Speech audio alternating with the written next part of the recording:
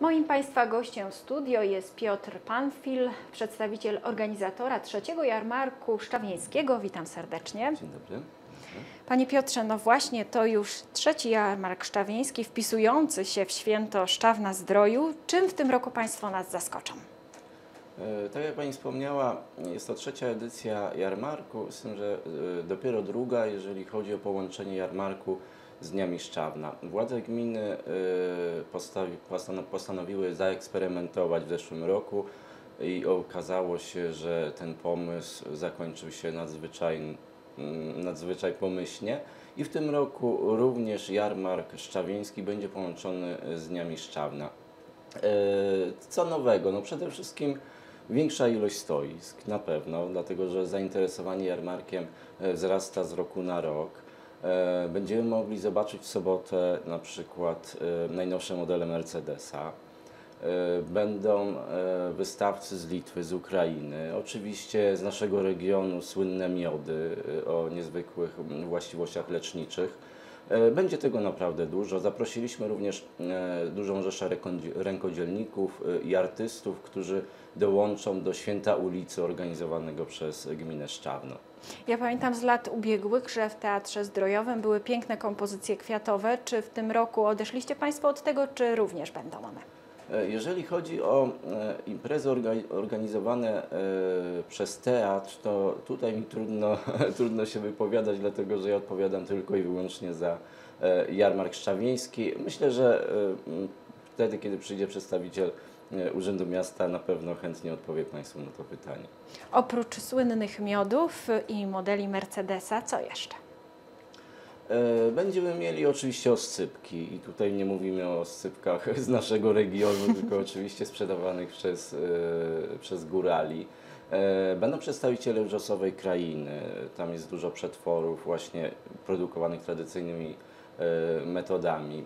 Będziemy mieli również no, troszeczkę odzieży góralskiej, mówię tutaj o kapciach, o takich typowych elementach, które, które kojarzą się z Zakopanem i z naszymi e, górami. Będzie chleb ze smalcem, e, będzie oczywiście e, kilka stoi z gastronomią. E, Tutaj niektórzy e, e, nasi goście w ubiegłym roku narzekali, że tej gastronomii było za mało, ale faktycznie no, ciężko było e, przewidzieć tak ogromną rzeszę e, odwiedzających. No teraz już jesteśmy mądrzejsi o, o doświadczenia, tej gastronomii będzie również więcej. Wspomniał Pan, że wystawców więcej, czyli to oni już teraz pukają do Państwa, dobijają się, czy Wy musicie jednak zaangażować się w to, żeby ich znaleźć?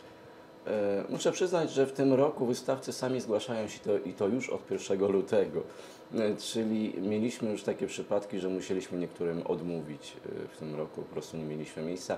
Może nie tyle chodzi o miejsce, mm, jeżeli chodzi o powierzchnię, ale my też nie chcemy powielać e, rodzaju tych stoisk, prawda? Czyli jeżeli mamy oscypki, to nie chcemy, żeby tych e, stoisk z oscypkami było 10, tylko żeby to były 2-3 stoiska, e, żeby zachować różnorodność tego jarmarku.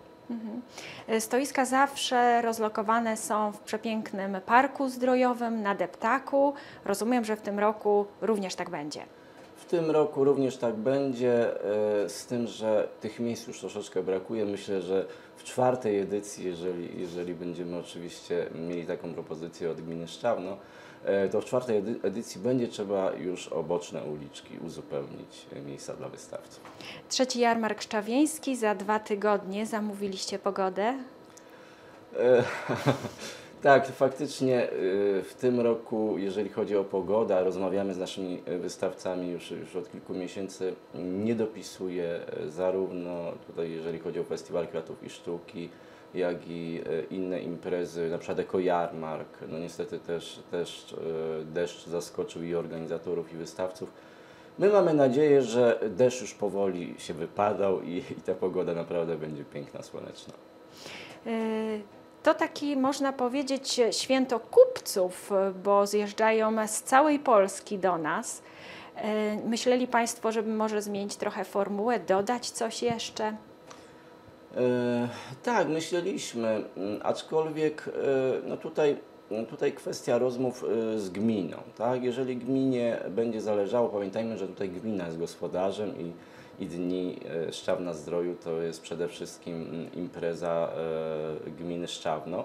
Jeżeli e, władze gminy wyrażą taką chęć, to oczywiście jak najbardziej. Ja muszę tutaj przyznać, że dostaliśmy już kolejne propozycje organizacji podobnych tego typu, typu imprez, też w naszym regionie, ale na razie nie mogę zdradzić szczegółów. Dobrze, to na razie nie zdradzamy, to tylko przypomnijmy naszym telewidzom, kiedy stoiska będzie można odwiedzać. E, Zapraszamy już e, w piątek 13 czerwca w godzinach e, rannych. Cała impreza zakończy się 15 e, czerwca, czyli w niedzielę. Mm, Imprezę zakończy koncert Norbiego. Zapomniałem wspomnieć, że w sobotę na pewno doskonały nastrój wprawi nas Marcin Daniec. Mhm. Pan jest organizatorem, ale pewnie, bo to duże przedsięwzięcie logistycznie, pewnie jeszcze ktoś się włączył.